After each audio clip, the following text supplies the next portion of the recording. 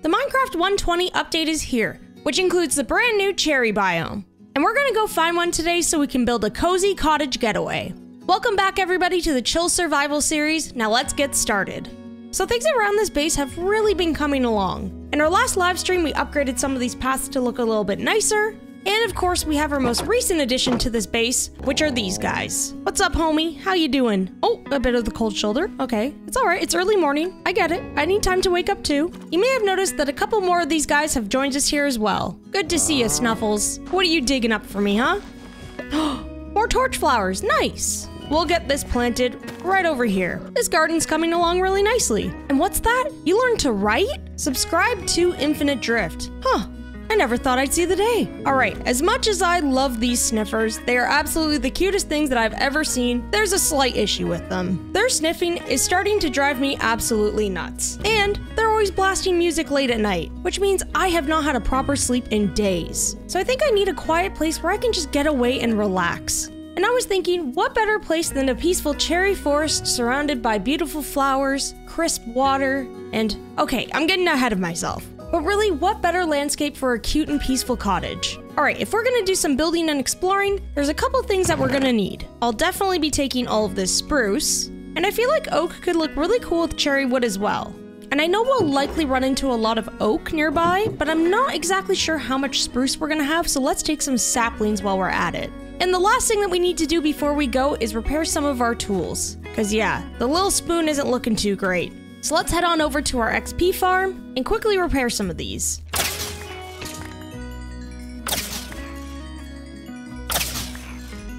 Alright, I think this should be good enough for our tools. Let's just grab a couple more bones in case we need to make some bone meal. Now, one of the things I forgot was a little bit more iron in case we need to make some hanging lanterns and signs. And last but not least, let's feed our cows so we can get a little bit more steak for some food. Sorry, sorry, sorry. All right, that should be good to keep us going for this adventure. And let's burn this up really quickly. All right, that's all done, so I think we're good to head out now. So I think the best direction to head in would be behind this mountain. The last time we went this way to get to the mangrove, I noticed a lot of plains and plateaus. So I think that with all of this terrain newly updated, there's definitely a chance that some of it has turned into cherry biome. So let's head out this way and see what we can find. I think this might be an old growth birch forest. You can tell because of the taller birch trees. Apparently you can find trail ruins in this biome, and those are indicated by terracotta and gravel sticking out of the ground. oh wait, no, that's literally a sheep. I thought that was a piece of terracotta. Oh. Now we're not gonna go looking for one today, but it's nice to know that this biome's close by when we want to do that. Alright, I'm starting to see some plateaus, which is a really good sign, because cherry biomes end up on hills that look like this. Alright, I'm following you guys up. No cherry biome up here, but we'll find one soon. I know it. there we go! Cherry trees! We finally found it! Alright, let's go check this out. Look at this! They're so pretty! I love it! Look at the falling petals! and the flowers! I'm pretty sure what you can do with these is you can place different amounts. So you can place one, two, three, or four if you want. That is so cool, and that leaves for so many options for decorating. However, it seems like this biome is pretty small. I'm not sure this is going to be big enough for our cottage getaway. I feel like there's gotta be another one close by that's a bit bigger than this. So let's keep going and see if we can find the absolute perfect spot for our cottage. Oh! Ooh, this one looks like the one. Oh, let's hope this one's a bit bigger. Yes, here we go. This is looking so much more substantial than the last one that we found. This is the perfect cozy getaway for us. Let me put some of this stuff away in a chest so we have more space to take a look at this cherry wood. Alright, let's start chopping into one of these. Why does it make the most satisfying sound when it's being broken? Actual 10 out of 10 for the sound. Let's also shear some of these leaves while we're at it, because I'm sure we're going to use these for our build. When you break the leaves with your axe, they definitely feel a little bit more crunchy and light. I don't know if they break faster than oak, but it almost feels like they do. It could also just be the sound that's tricking me into thinking that. Hey, what are you doing here? You're ruining the magic of this place. Alright, let's take a look at what we got here. We got the regular cherry log, which sounds amazing when you place it by the way. Then there's the strip version, which looks really nice. Then we've got the planks, which I think is honestly my favorite out of all of these three. Then there's the door, which also gets a 10 out of 10 for sound. And honestly, the design is super cute. Got ourselves a trap door, which I love the look of this too. I love how it's see-through. And then for the remainder of it, we got our fencing, signs, and boat. Honestly, I love how all these blocks look. They are super cute. And I think they're the perfect blocks to build a cozy cottage with. Alright, now that we have a good idea of how these blocks look, we need to find the perfect spot for this house. I'm not so much worried about finding a giant flat patch of land, we can always terraform. I'm more so looking for a good spot where the sun will shine brightly on it. I feel like this might be a good spot. It's towards the highest top of the mountain so the sun reaches it pretty nicely, and it looks like it's pretty much in the heart of the biome, which is nice because we're surrounded by cherry trees all around us. Yeah, I feel like this is the spot. It ticks off all the boxes, and it's just got a good vibe to it. So let's mark this area out with a post and some torches so we know where we're gonna build. Yeah, I think a house is gonna look so nice amongst these trees. Alright, now that our spot is picked out, let's gather up some resources so we can begin building this thing. Alright, let's start off by clearing up some of these trees so we have a little bit more space to work with. Plus, we're gonna need quite a bit of this for our build.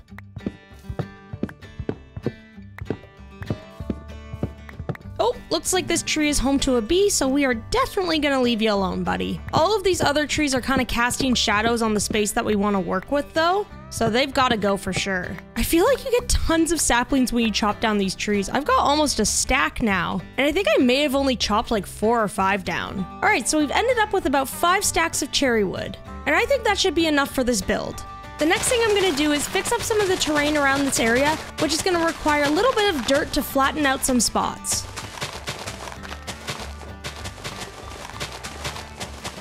Alright, so now that we've got our area all cleared out and ready to go, the next thing we need to do is figure out which blocks we're going to pair with our cherry wood for this build. So I was kind of thinking of maybe trying a combination of spruce and oak with the cherry wood. Alright, so we've got these logs right here, and let's strip them all. Honestly, they look kind of cool together. That combo also kind of looks like Neapolitan ice cream, which is delicious. Alright, let's see what they look like with the planks too. Yeah, I think that looks really good. I feel like if we're smart with the way that we use these in the build, they'll all work together really well. And if it doesn't work, well, uh, I guess we'll have to figure something else out. But I'm really confident that it's gonna look pretty cool.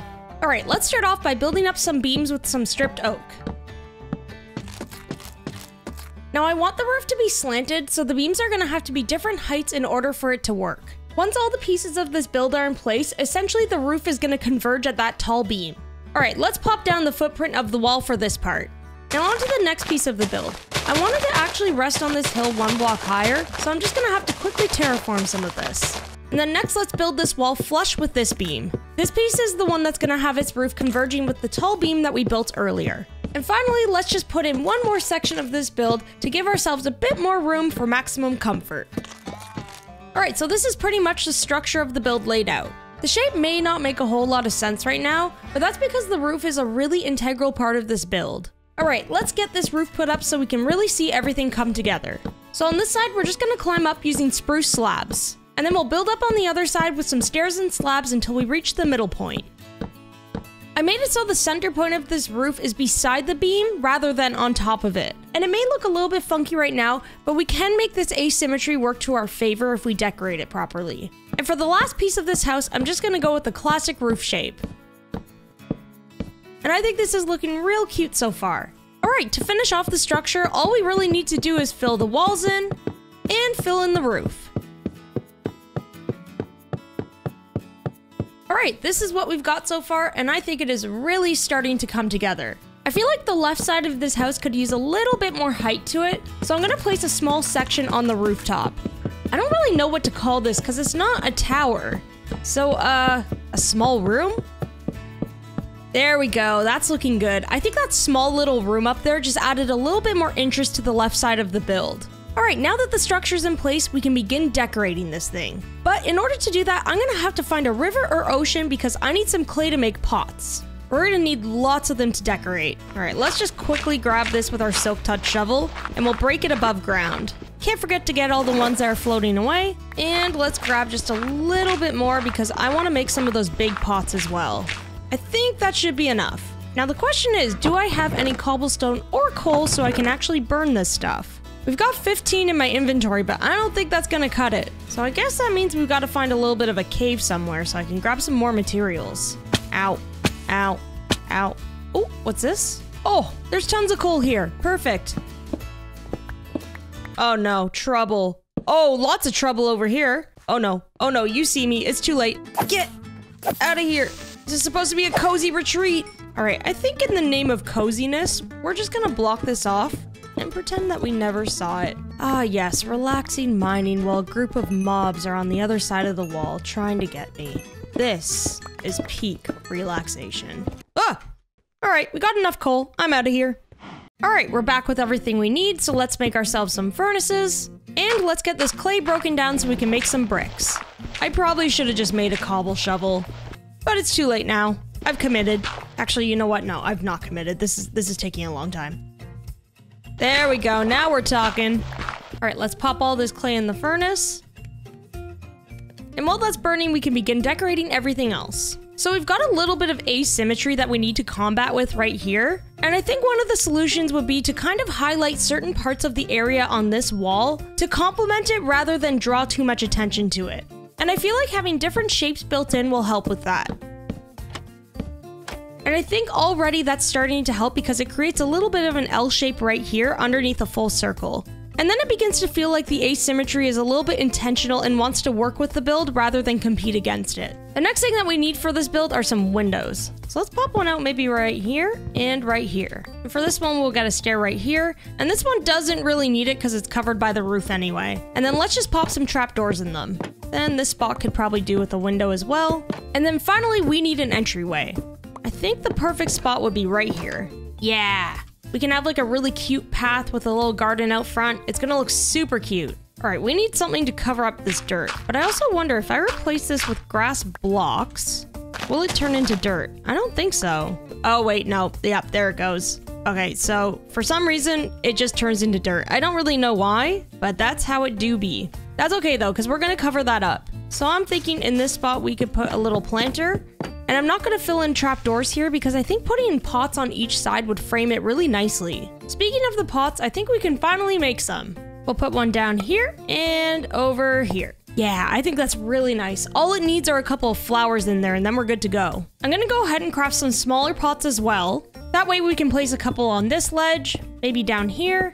And do I have a dead bush? Oh, no, I don't. That's okay. For now, we're gonna put cherry saplings in these pots. Then we can put a lantern in between for some lighting. And since we have our lights, we might as well try popping one here and maybe on the side right here. So the decorating is going really well. However, I've run into a slight predicament. I honestly forgot to bring some decorations with me, such as dead bushes so we can make trees. I really wanted to use some torch flowers here. And most importantly, I forgot my book collection for when we decorate the interior. You can't have a cozy cottage without a book nook. That is just not cozy at all. So I think we might actually have to make a quick little trip home to gather some more supplies. And then once we have everything, we can finish this off and we'll be able to retreat here for at least a solid week or so. It's already been so peaceful out here. Honestly, maybe it's a good thing that we check to see what's going on at home. The sniffers have been pretty rowdy lately, and I'm getting a little bit worried that they may have trashed the place. Hopefully everything's still intact when we get back. Uh... Is that music? Oh no. I think I know who the culprits are.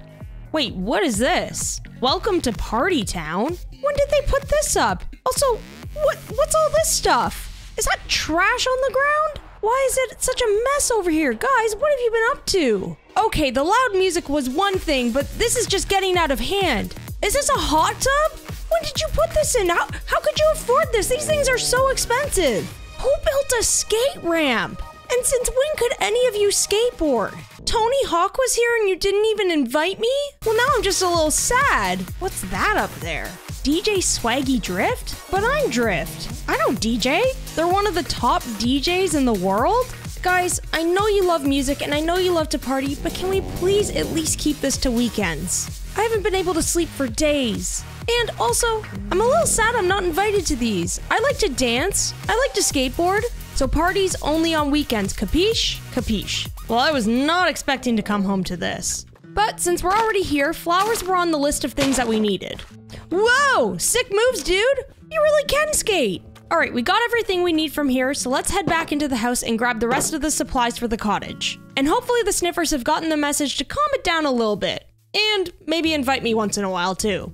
because I'm a little jealous. All right, the next thing that we need are some dead bushes. And finally, we need some leather so we can make some books for our bookshelves. We need lots of paper, so let's head on over to our sugarcane farm really quickly. And hopefully there should be some in here. Let's see. Ooh, yes. This thing has worked out for us quite well, actually. All right, let's just get these books crafted really quickly, just to save some space for us. Well, it looks like I'm gonna have to expand my reading list, because that's a lot of books. Now, before we leave, I want to make sure this place is looked after, so I'm gonna pay a visit to Ruth. Ruth, you keep an eye on those sniffers and make sure they don't get into any more trouble, okay?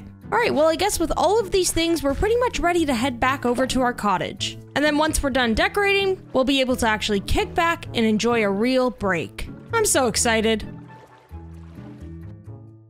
Ah, finally back at our cozy cherry cottage. So peaceful, so quiet, so beautiful. And even more beautiful now that I grabbed us some extra things to decorate with. Alright, let's place some small pots in these bigger pots. And we'll get our torch flowers in here. Yeah, that's looking so cool. All right, so I think the next thing we're gonna need outside of this house is a path. And luckily I thought to grab some of these blocks from our house before we left. There, I think keeping it relatively simple is perfect for this house. I feel like a pink fence in front of this entryway would look really nice. Yeah, I think that looks really good. And then to add a pop of color, we can put this pitcher plant here, maybe one right here, and let's bring back some of these flower petals. I'm curious, if you bone meal this grass, do you get flower petals with it? No, I think you just get grass. That's okay though, we do need to bring some of this grass back that we took away earlier. Oh, nope, you do get flower petals too. Okay, interesting. Alright, with the grass and petals added back in, I think the exterior is done. I'm really happy with how this turned out. Alright, with our exterior done, it's time for us to move on to the interior. And uh, boy oh boy does this need some work. Yeah, it's looking like a hot mess in here. So I think the best place to start is with these floors. One new block that has a really nice design on top of it is the chiseled bookshelves. Then in the middle of that, we can toss in a piece of oak and strip that. And we have a nicely decorated floor at the entryway. And then maybe beside it, we can get a strip of oak across like this. And I think spruce at the back over here will leave it feeling very cozy. Now this is a pretty big section over here, and I think it might look really cool if we made it into a reading nook. All right, let's break these. And would it look bad if we did pink stairs here? I don't know, it might work. We have to fill everything else in first though. All right, we're gonna have to bring these walls down a little bit more. And then we're just gonna fill in the remainder of the space with a ton of bookshelves.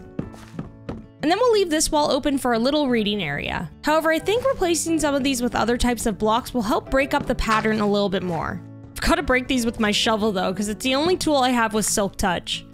Okay, I think we're getting there with this. I think it just needs a couple decorations. There's nothing some lighting and some pots can't fix, you know? Let's get a big one in this corner, small one here, small one on top, and we got another big boy that can go maybe right here. Yeah, looking good. All right, let's fill in this floor so it's no longer an eyesore with this dirt. I think that's pretty cute. This is definitely missing some lighting. And then let's fill up these pots with some flowers. There we go. This is really starting to come together now. The cherry leaves dropping those petals looks so cool. Oh yeah, I almost forgot. The books. This is gonna make the biggest difference to this area. So what I love about these bookshelves is you can basically place them in any pattern that you want. So each shelf can look slightly different from one another. Apparently I didn't bring enough books, so we're gonna have to spread some of these guys out a little bit more. Yeah, this is looking so cool. I love this. Very, very cozy. Now we need to figure out what we're gonna do so we can lounge around and read a book. And I thought it might look kind of cool if we put a cozy sunken in daybed in this corner. And then let's recess this wall so we can get a reading light behind us. And a pot with a flower. There, I think that's looking real cozy. This is the perfect spot to kick back, relax, read a book, and even nap. Especially on a nice rainy day. So the most important room of this cottage is pretty much done, minus a couple item frames and paintings here and there.